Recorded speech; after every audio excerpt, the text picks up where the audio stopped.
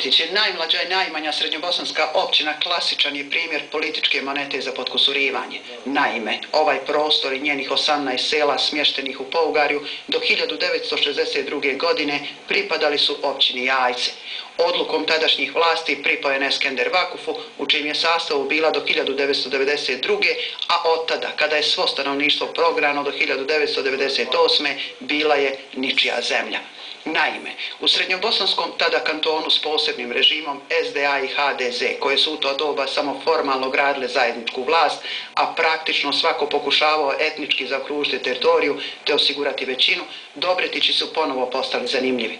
Iako je najveći broj od 4800 prijeratnih stanovnika Pougarja bio raseljen, a svih 1250 privatnih kuća srušeno, to nije smetalo za zvaničnu inauguraciju ovog prostora za 12. općinu Srednjobosanskog kantona.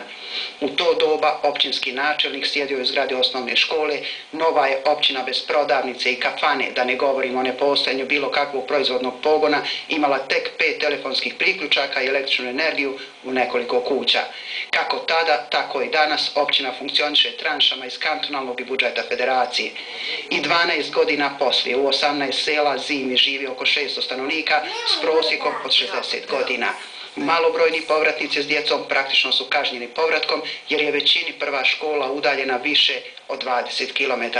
Nerijetko mnogi poput porodice Davidović iz istoimenog sela budu onemogućeni da pohađaju osnovnu školu koja je zakonom obavezna. Nažalost, Dobretić izuzev činjenice da imaju općinu te postanu zanimljivi samo pred izbore, nikoga previše ne zanimaju. Istina, do posljednjih izbora sudbinom ovih stanovnika najčešće se upravljalo iz Mostara u koji se slivao kapital od sječe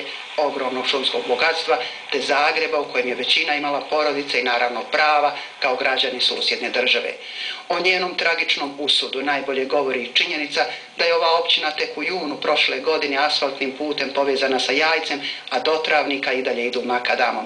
Najveći broj prijeratnih stanovnika i dalje je raseljen po Republici Hrvatskoj i najčešća veza sa rodnim krajem su groblja na kojima se okupe na blagdan svih svetih, a onda ponovo u neke nove domove u kojima kažu uvijek sanjaju pougarje.